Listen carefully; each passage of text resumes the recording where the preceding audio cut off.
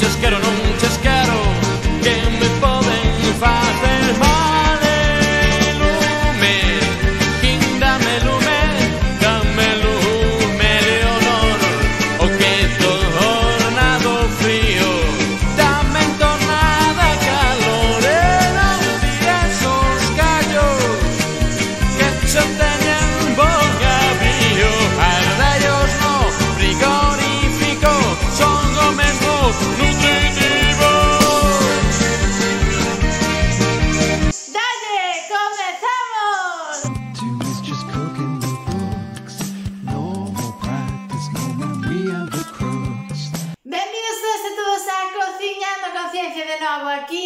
receita número 22, 22 a receita cale, os dous peroliños xa,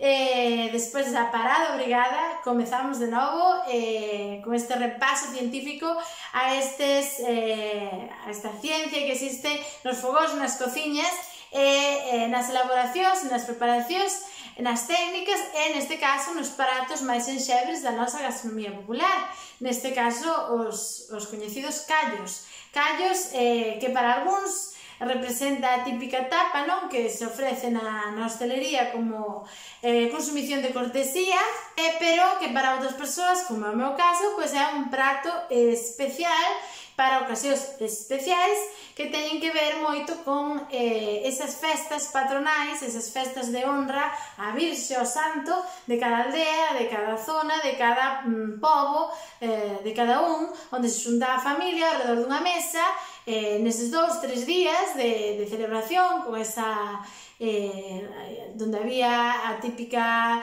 eh, tirada de foguetes, eh, a pasada de pasarrúas, Eh, de gaiteiros, eh, había foliadas ou a típico campo da festa cheo de, das animacións, dos bochinches, das orquestas, todas estas cousas que por desgraza desta crise sanitaria, desta pandemia que estamos a sofrer, é que se non temos sentidiño, se non actuamos con cuidado, sofreremos por moito tempo, eh, pois están a, a non levarse a cabo. Eh, é unha pena eh, dende aquí mandarlle todo o ánimo, toda a forza toda esa xente que ten que ter parada a súa actividade profesional. O gallá que no final de outubro eh, setembro, outubro, no final de, no comezo do, do outono, comezo eh, finais de outono, comezo de inverno, pois poidan eh, aínda que sexan menos as festas, aínda eh, pois retomar ou, ou recoller un pouco de novo a súa, a súa andadura profesional, o seu, a súa andaina eh, e a súa actividade pro, profesional, non? Porque é un sector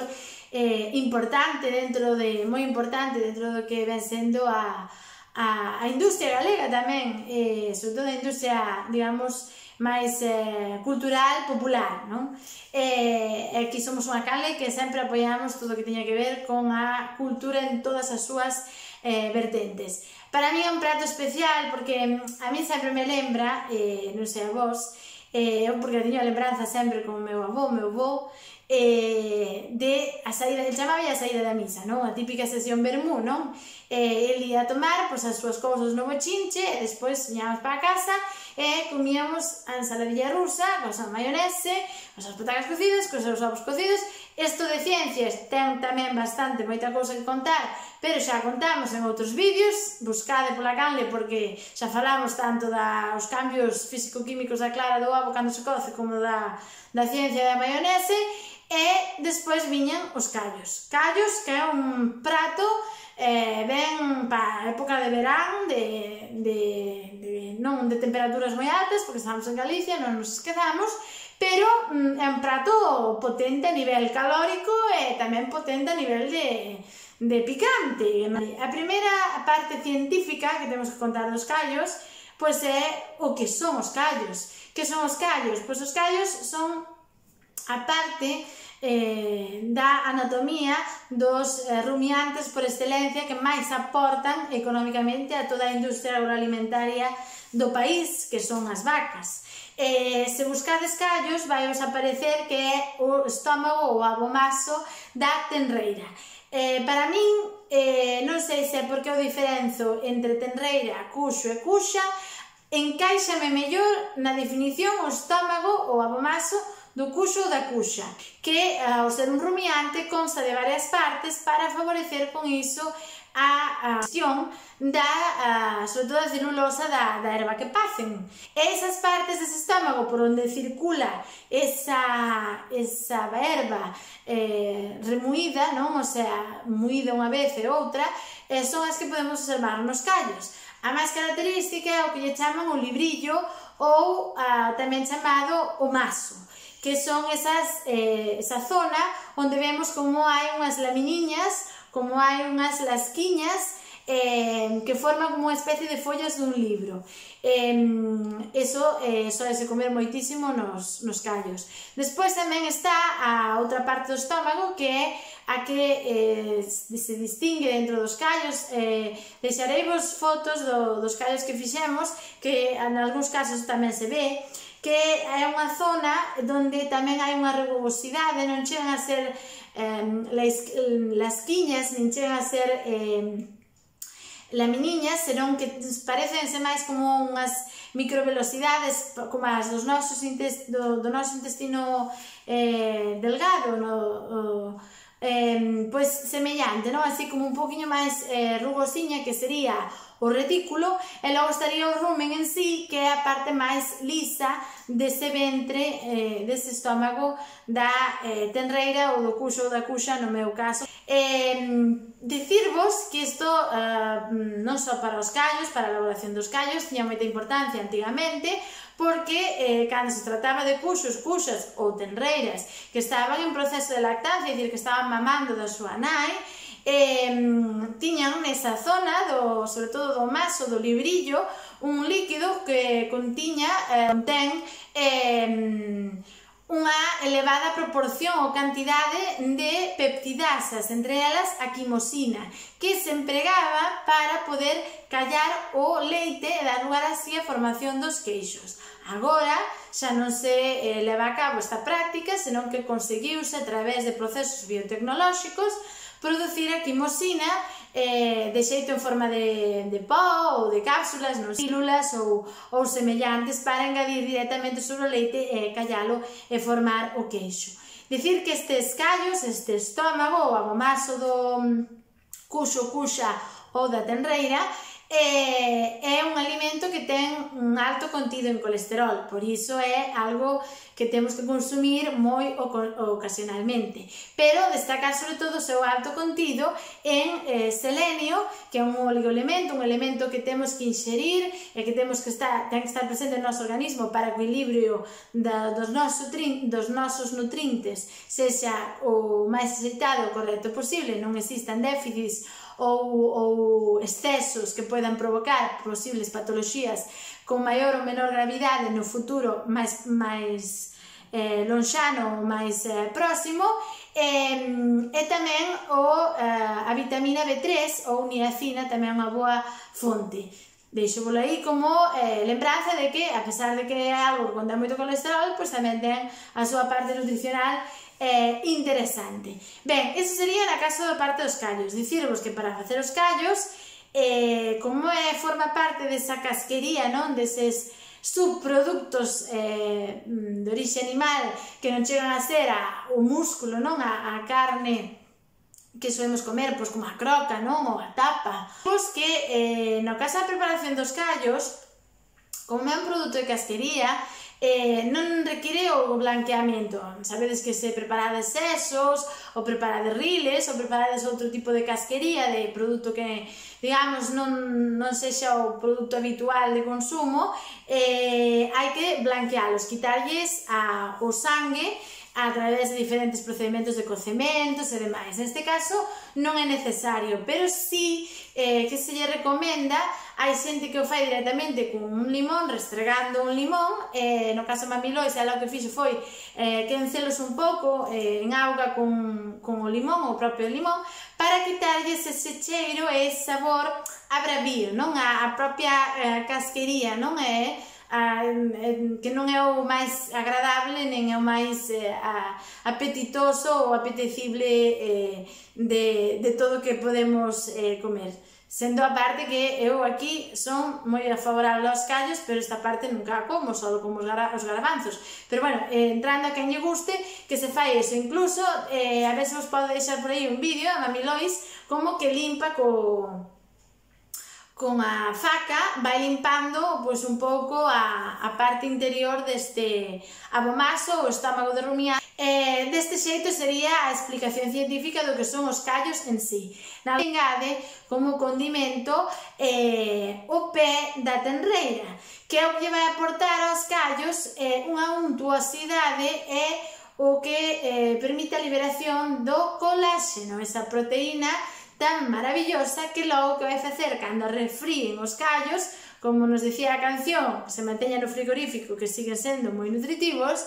é a produción de xelatina. Quedan os callos como unha xelatina. En Brasil, deixemos aquí como eh, complemento lusófono brasileiro, eh, hai de feito un chamase mocotó, os callos chamase mocotó. E eh, hai unha xelea que se chama xelea de mocotó. E eh, iso estaría formado por esa, pe, esa, ese pé da tenreira ou pé do, do cuxo ou da cuxa que se emprega e que poderedes ver nas imaxes como ten o, o que sería o eh, que non se ve, que ves, ves, vedes o oco do, do oso e non vedes eh, o que é o, o, o sobuco o, o, o totano. Non sei se é o totano en galego, a lo mellor en portugués. Eh, que sería a médula eh, espinal que temos todos os mamíferos que corre polo interior da, da, dos nosos eh, osos. Non, non se dispón, neste caso, polos problemas que houve na, antigamente da, eh, desa enfermidade da encefalopatía esponxiforme, eh, a enfermidade que causaba de Creutzfeldt-Jacobs, eh, entón, dende aquela, cando se venden este tipo de subproductos tamén chamados sandach ainda que non sei se entran dentro de sandach totalmente, eh, pois xa non se eh, é difícil atopar ese totano ou ese tuétano nos eh, alimentos eh, que mercamos eh, animais, sobre todo de orixe eh, rumiante ou procedentes eh, da vaca por esa relación con esa em, enfermidade. Ben, despois engadimos, no caso de mamilois, e eh, moita outra xente, pode engadirlle un pé de porco, que tamén nos vai xerar un elevado contido de coláxeno, e outras eh, partes mm, graxas da, da animais, de carne animal, como por exemplo os chourizos, un pouquiño de touciño, no caso nós poñamos un pouco de, de costelas salgadas, en fin, todo iso que vai facendo é que vai engrosando a, o caldo dos callos, bueno, se quitan de ser un, un caldo un pouco máis engrosado, e liberando esas partes grasas que son como son os triglicéridos, que tamén quedan eh, nadando ou, ou boiando na, na, no caldo e o, o que máis chama a atención nos caldos, sobre todo nos callos ou nos caldos con moita graxiña esa capiña ou esa eh, película ou, ou filme delgadiño eh, que somos eh, podemos romper a súa hidro, hidro, hidrofobicidade eh, cunha culler ou cun... Eh, ou cun garfo, tedes unha imaxe aí, un vídeo pequeniño curto onde vos lo ensino, eh, que cando se refría nada, un pouquichiño que o deixes no prato típico que comezas a falar e a refría un pouco, formas esa capiña que en, en castelán, en español, chamase tejuelo, eh, non sei a palabra se existe en galego como tal, que está formada por unha, uh, unha bicapa eh, do que coñecemos como fosfolípidos, que son un tipo de eh, graxas que se dispoñen cunha parte lipofílica, que se quedan as partes lipofílicas se enfrontan entre sí, e as partes eh, hidrofílicas que se dispoñen cara á auga formando bicapas en forma de micelas ou a, o que forman a estrutura da, da membrana das nosas, das nosas células, non? Eh, e son os responsables de formar esa eh, peliculiña. Pois, e despois, eh, bueno, Podemos engadir, ademais do pimentón, eh, doce ou picante, aí tedes, deixovos unha foto maravillosa do que lle engade Mami Lois, eh, ela engádelle como máis sofisticación, porque ven que lle pon desa raíz, eh, desa eh, desa raíz de, de picante xaponesa, que é o o sensible, botalle ben de sensible, como podedes ver, que non falte eh, tampouco o, o comino, especie fundamental nos callos, a, aí tedes a cúrcuma, o curry, aí tedes tamén que lle bota a, a pimenta de cayena, uns graiños, para lle dar ese picante, logo tamén lle bota pimentón, o que pasa que lle bota a modo de, de refrito, sabes? Isto de que, sabedes isto de que mmm, se lle pon en aceite non moi quente para non queimar o pimentón, e logo se lle bota xa cocido para lle dar colorciño máis sabor, pois iso que falta. Sal, bueno, aí tedes as especies todas que lle bota eh, para darlle ese sabor e ademais dalle un cheiro, porque nada máis que se fai, se pon a ferver, teñen un cheiro os callos que é totalmente eh, imborrable e eh, inesquecible eh, da nosa, do noso bulbo olfatorio, de verdade, un cheiro ah, alucinante. E despois están os protagonistas eh, para min do prato, porque eu nin como o librillo, nin como o ridículo, menos vou comer o rumen, eh, si como as costeletas, así como os... Eh, o, o chourizo,